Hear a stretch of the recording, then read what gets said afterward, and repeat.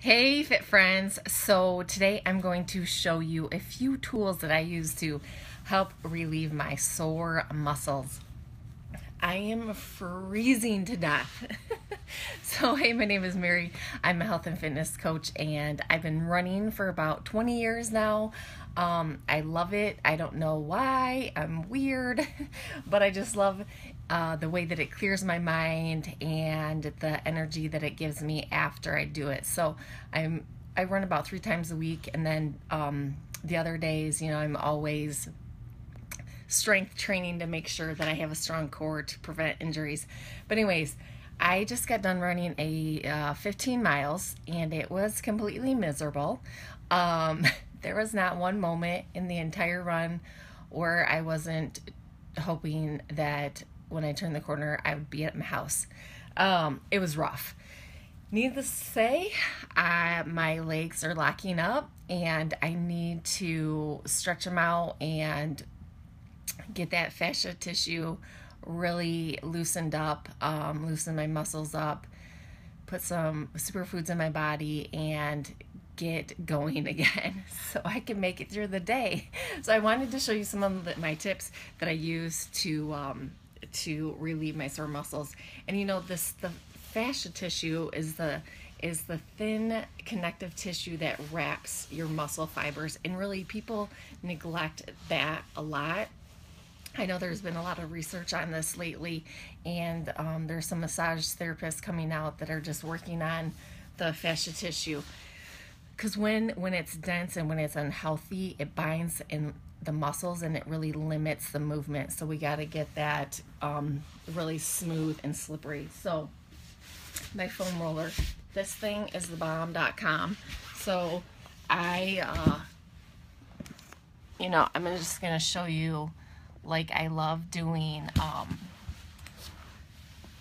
some hamstring work on it just get it really rolling out and I like doing it with one leg to really put a lot of pressure on my hamstring. Oh my gosh, feels good. so I love doing my hamstrings. You also can do your quads and your IT bands. Oh, that really hurts. So the foam roller is really good. I'm looking for my stick. Oh yeah. So if you're sitting at a desk, you can use this awesome stick. This is great for my um, my calves. And then I just roll it up against my calves. So if you're sitting at your desk all day, I just keep it at my desk. and then this actually feels really good. And then I just roll it up and down my calf muscles to relieve the tension in my calves. And then this band. See, it's it's one long big loop. Let me see if I, might have to move this a little bit. But um, if you wrap it around the top of your foot, it's called the church wrap, top of your foot, in the back. And then oh shit. just give it a good bit, ow, lots of tension. And I would say do 10 stretches, 10 movements up and down, 10 times. My brain's not working. My 15 miles really got me going. And then hold it for 10 seconds. And then you can cross it over, wrap it behind your neck in the back, and this really helps to stretch out your glutes. Again, 10 times, and at the end, hold it. Look, I can't even straighten my leg. so tight. Then hold it. And then you can also wrap it around the back of your head again and stretch it. My legs are so tight right now, I kind of want to cry a little bit.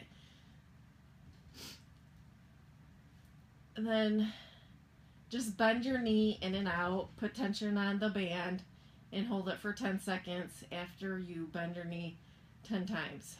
You'll feel it in your inner and outer thigh. All right. So, I don't know what what kind of tools. Let me know what kind of tools you guys use to um, stretch out your muscles and help your fascia. But I'm freezing to death, so this is another great tool that I like to use, especially, look at my lip, lips are purple. Um, but I, especially like after these long runs, I like to sit in uh, Epsom salt baths. The magnesium is great for sore muscles. And then I found this one because I'm really into the pink salt, the Himalayan salt. So I found this one on Thrive Market, and it's a Himalayan pink bath salt. So I'm totally going to use this to help my muscles to get through the day today. And then I'm, and of course, I'm down in my superfood shake because it's all about nutrition as well. So you got to take care of yourself. But comment below, let me know what tools you guys use to um, help stretch out your muscles, get get your fascia work. I also go and see one more point.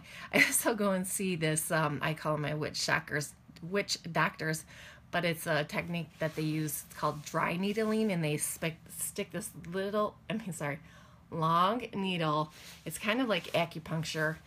They put it in your muscle, and um, it goes really deep down, far into your muscle, and they wiggle it around a little bit, and it relieves the test tension of the um, muscle. So check it out. There might be someone in your area that does something like that for you. But anyways, guys, check it out. Thanks for plugging in. I appreciate you joining my live video. And if you're looking for recommendations on some fitness or health um, activities in 2017, let me know and I'll help you out and make some recommendations for you. All right, guys, talk to you later. Bye.